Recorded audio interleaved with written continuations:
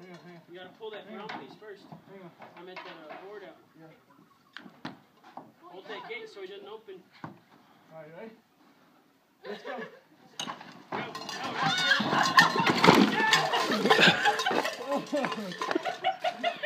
You got blown out!